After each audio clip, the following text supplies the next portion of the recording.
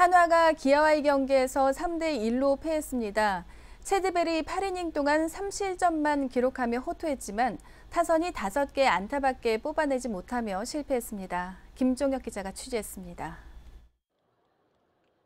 하나 선발 체드벨이 8이닝 3실점으로 호투했지만 타선의 도움을 받지 못하며 패전을 떠안았습니다.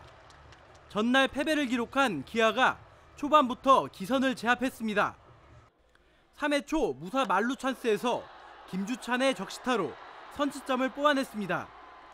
4회 초에는 안치홍의 솔로 홈런으로 1점을 더 추가했고 7회에는 하나의 실책을 틈타 3대 0으로 달아났습니다. 그러는 동안 하나 타선은 기아 선발 제이콥 터너에게 속수무책으로 당했습니다. 한화는 9회까지 무려 10개의 삼진을 당했고 9회 초 1사 1삼루 찬스에서 김태균의 좌익수 희생 플라이로 1점을 만회했습니다. 이날 단 5개의 안타밖에 뽑아내지 못하며 완봉패를 당했습니다. CMB 스포츠 1일 캐스터에는 노박래 서천 군수가 찾아 한화이글스에게 힘을 불어넣었습니다. 한화 이글스 홈구장에서 우리 서천군 소개를 음, 종종 합니다. 우리 전 가족이 한화 팬이고요. 오늘 끝까지 잘 날아갈 걸로 이렇게 보- 봅니다.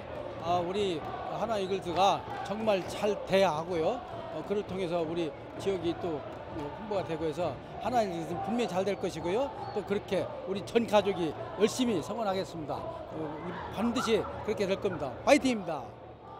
많은 팬들은 이번 시리즈도 어김없이 야구장을 찾아 열띤 응원을 보여줬습니다. 대전 목수고등학교에서 학년 공동체의 날로 야구 하나 이글스 응원하러 왔어요. 어, 앞으로 하나 많이 이겨서 가을 야구 꼭 갔으면 좋겠습니다. 파이팅! 저희가 수요일마다 문화의 날이어서 이번 주 수요일이니까 1, 2학년 선생님들과 1, 2학년 선생님들과 학생들이 함께 야구장에 오게 되었고요. 그리고 이번에 하나이글스가 작년에 가을 야구 갔던 것처럼 올해도 가을 야구 갔으면 좋겠습니다. 하나이글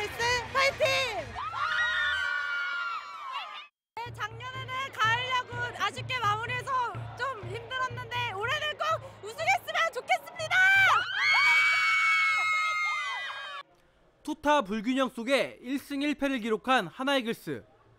하나는 김범수를, 기아는 차명진을 각각 선발로 내세워 위닝 시리즈에 나섭니다. CNB 뉴스 김조혁입니다.